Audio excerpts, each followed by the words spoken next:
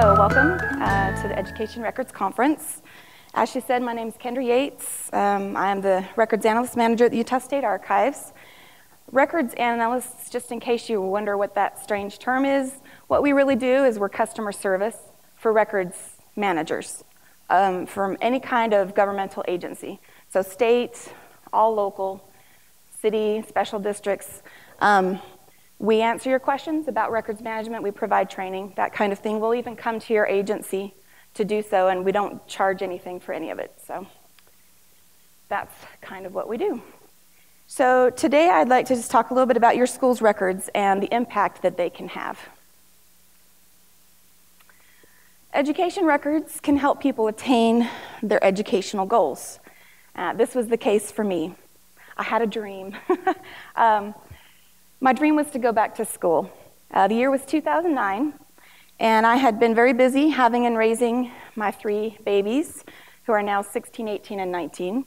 Um, but I really missed learning in a classroom. It was something I'd always enjoyed and kind of thought I would always go back to do. It was really intimidating to figure out how to get started, though.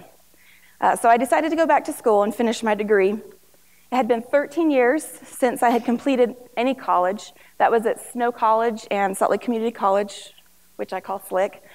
Um, I had AP credit from high school, and that needed to be transferred. And I also needed financial aid and had no idea how to go about getting that. Uh, the thing I had going for me was a lot of drive. I was very motivated, and also I knew what degrees I wanted, which I think is a huge hurdle that you go through in college anyway, right? I knew I wanted to be a librarian.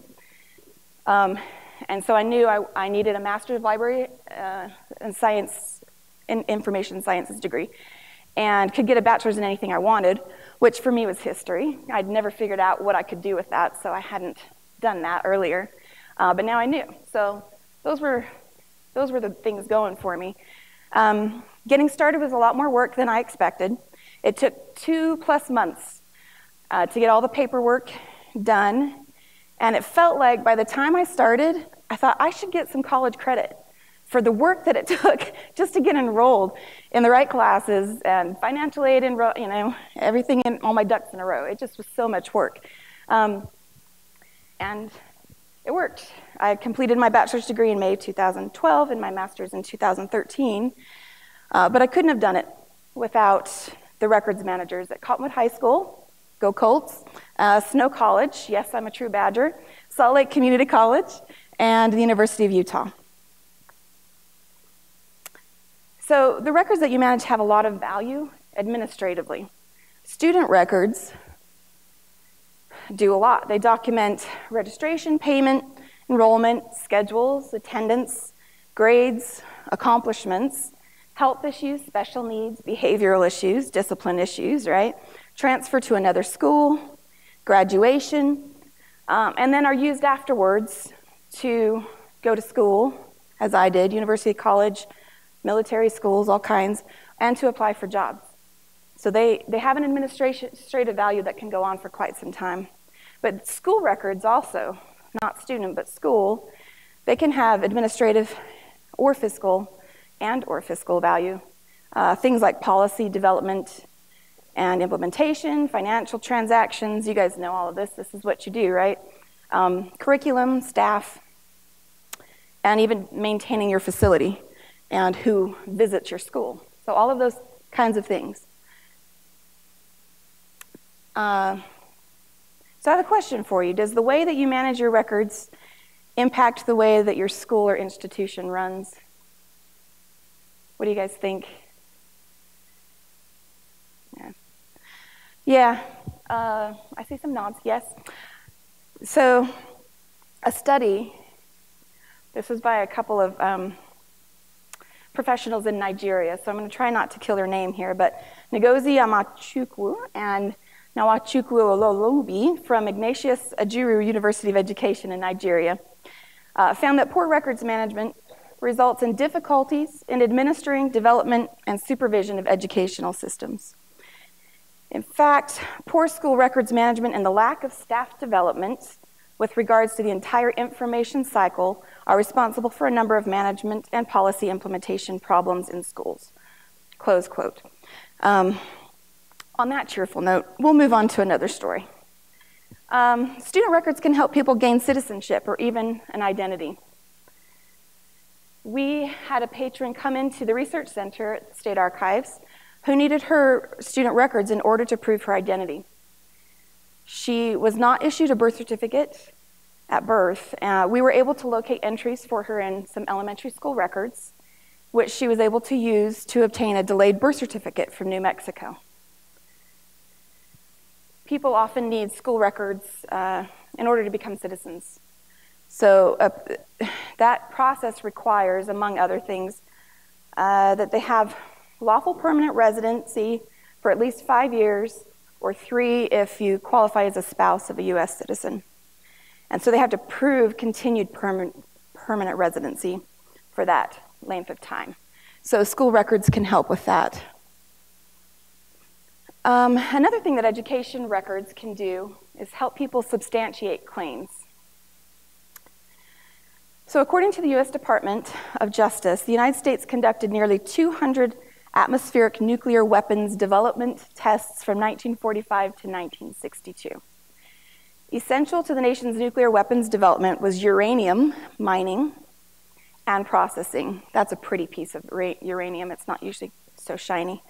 Um, so that was carried out by tens of thousands of workers. But as we all know, uranium, well, it's radio- radioactive, right?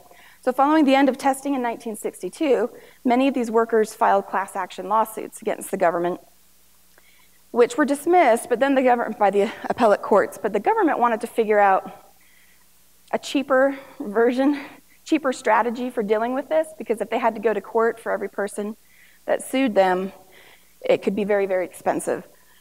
So, what they decided to do is create this program called Radiation Exposure Compensation Act, which most people just refer to as downwinder claims. Um, and what it did is it, it actually it gives restitution money to people and an apology to people who either worked in the uranium mining, uranium industry, or lived in certain areas. So they had to be able to prove that they lived there or worked in that industry. So, this is a map from their website. The yellow states are those involved in uranium industries. The blue counties are downwind counties, and the green ones are both, both in the uranium industry and downwind counties. And so you can see that Utah has quite a few counties in, in that section. Let's see, we've got Beaver, Garfield, Iron, Kane, Millard, Piute, San Juan, Sevier, Washington, and Wayne. Uh, so, records managers actually use school records to provide proof of residency. I spoke with a couple of them about their experiences.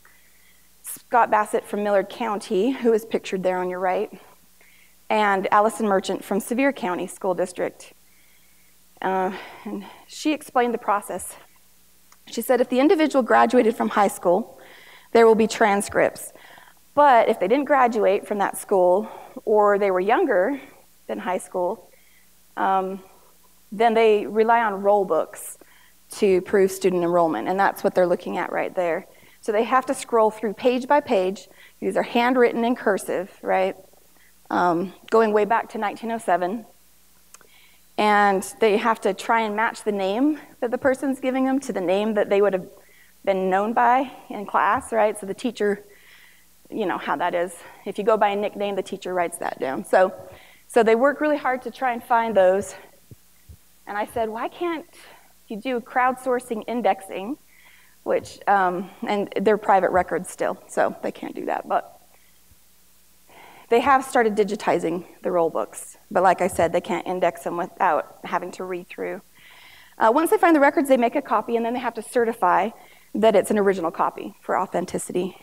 And they do that by stamping it and sealing it and also writing a letter stating this was an original record. So she, she said that it feels great to be able to help people um, find themselves or a parent or older sibling because if you can prove your, prove your sibling was going to school and maybe you were only three or four, that they'll still accept that. Um, and Scott Bassett also really enjoys doing this. He actually remembers the clouds, the fallout from the testing from when he was a child. And it's a small community, so he knows everybody that he's helping, um, whether it's for them or for a deceased uh, family member. So that is one fantastic thing that school records can do. So they have a legal value. They can prove residency or prove identity, they can verify claims and help people gain US, US citizenship.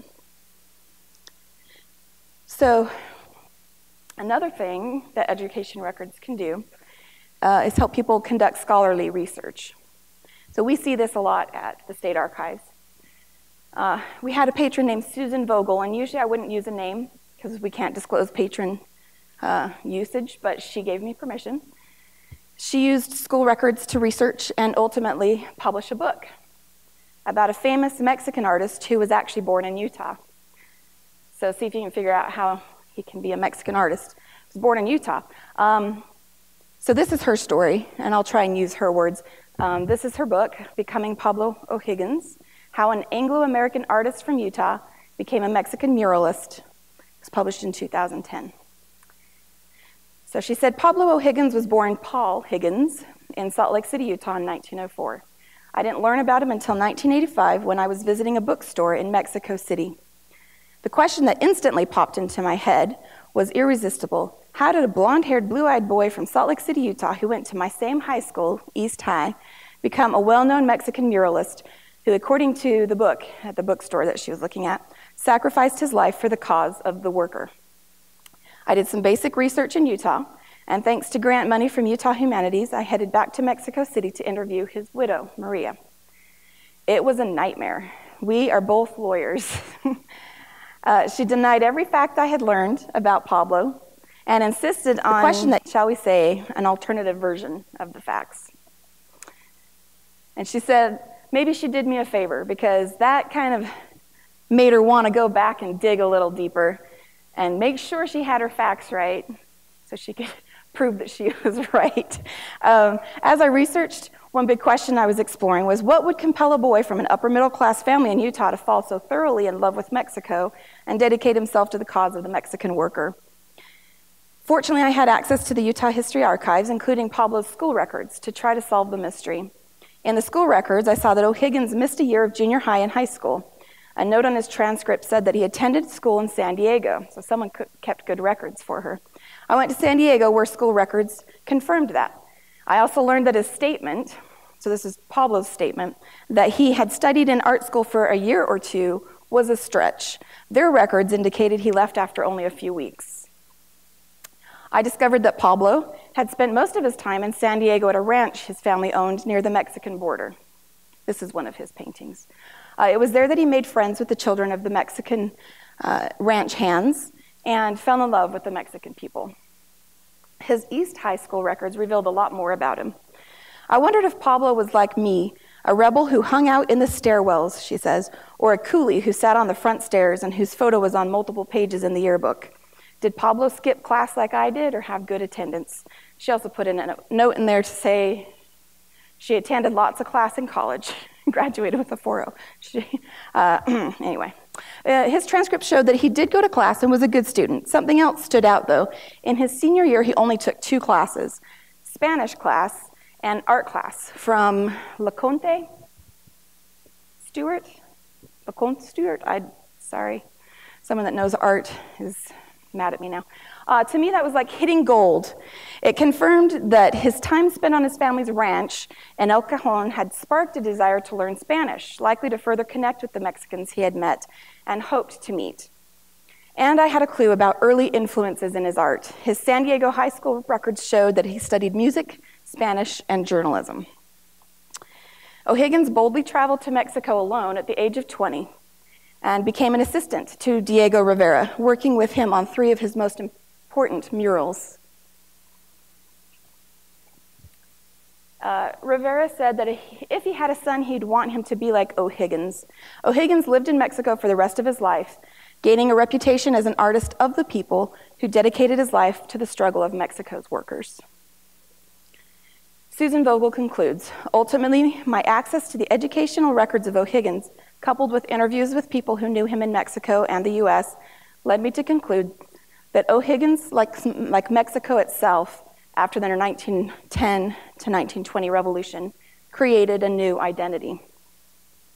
His wife, by the way, one of the reasons she was telling the story she was telling was because he was part of the Communist Party in Mexico, but this was after the McCarthy era of anti communism in the United States. So there's probably a, a logical reason for him to, to downplay some of that part of his history. Um, so some reachers are not historians seeking to publish, but are individuals seeking to connect with past generations and their families. I hope you'll forgive me for sharing another personal story. My maternal grandfather's name is Thayer Clark Barris, although he changed his last name to Barrows because he was tired of getting teased about the name Barris. And I'll just let you figure out that one, how he was getting teased. But uh, so I called him Grandpa Barrows. When my mom was a baby, her dad was a high school music teacher. He had a hard time uh, getting an orchestra together because he had a lot of interested students, but very few of them actually owned their own instruments. And it was a really strange collection of instruments at that. And I know all of this because it is mentioned in the high school yearbook from that year. So there he is. What the yearbook does not reveal is that he and his family lived in barracks behind barbed wire fences. He was a teacher at Topaz High School, which was in the Japanese and American internment camp called Central Utah Relocation Center, but we all just call it Topaz, right? It's just outside of Delta, Utah. They lived in a barrack similar to the replica, which is pictured on your right here, the same kind that the Japanese American prisoners lived in. I took this photo in 2015 when I took my family to the museum, the Topaz Museum in Delta, and that's my daughter, Brooklyn. Uh, I didn't have any pictures without, without her in them, so you get her in. Uh, I was standing with my back to the corner wall, so that's the full size of the room. Um, you'll notice that there is no bathroom. They all had to use communal bathrooms and washing facilities. And um, my mom learned to walk in a crib because my grandma didn't want her walking on the cement floors. Uh, she was the fourth child in the family, and the oldest one was six. So you can imagine all eight of them living, six of them, I can do math, six of them living in that room, um, and how noisy that would be. So my grandpa Barrows kept his high school yearbook, which was produced by the Topaz High School students. And there he is on the faculty page. But this school record has more value than just to me as a genealogical uh, record. More value to, the, to just the, the, granddaughter of a faculty member. Uh, it documents in a unique way, and I quote this is from the Topaz Museum's website one of, the, one of the worst violations of civil rights against citizens in the history of the United States. The government and the U.S. Army, falsely citing military necessity, locked up over 110,000 men, women, and children in 10 remote camps controlled by the War Relocation Authority, and four male only camps controlled by the Justice Department. These Americans were never convicted or even charged with any crime, yet were incarcerated for up to four years in prison camps surrounded by barbed wire and armed guards. So, as you look through the yearbook, which is, there's a digitized version of it online, uh, I think USU has that. What is striking about this school record is its air of normalcy. Photos of student body officers, track meets, football players, science club experiments, social committees, dances. The students went to a lot of work to maintain as normal a life as possible, or at least to present one. As a historian, I would ask the question, why? I'm not going to answer it here. I don't have time for that. But uh, just noticed that there is no barbed wire in any of the photos in this book. It's hard to even tell where they are from the photos. But what these teens were experiencing was not a normal American high school experience. This photo was taken of students at their high school building, which you can see was really grim. nothing like the ones they would have been in if they had been home in California. My grandfather said that they were treated like prisoners. One was even shot for not getting away from the fence when ordered to do so by a guard. And it turns out he was deaf. He was walking his dog. Couldn't hear the guards yelling at him to get away from the fence. Um, so, what frustrated, what frustrated me was that my grandpa could not distinguish, when I talked to him about this, he couldn't distinguish the difference between the Japanese Americans in the camp and the Japanese that we were at war with no matter how loudly I told him that they were American, not Japanese. I was 18 years old and, and thought I could convince him. So I've learned since then, right? As you can see from these photographs, he was not the only one that was confused. This was in California. The school song, written by the students and published in the yearbook, says, All hail Topaz High School, a torch that our paths will light. Our colors, the green and gold, shall symbolize our might. From far and wide we've gathered and made now into one. We'll cherish this, our alma mater, which will not go unsung. All hail Topaz High School. We'll leave thee with spirits fine, and hope we will prove to be ever worthy sons of thine. Our steps for long you've guided, and now without a fear, we're proud to leave as part of you, our alma mater dear. But on the senior will page, which is a page where seniors can will things to the lower classmen, uh, for example, Fred Hayashi leaves his love of sports writing to Henry McLemore. And a, a funny one, Yoshiko Ikeda wills herself to any tall, dark, and handsome man with a neat smile.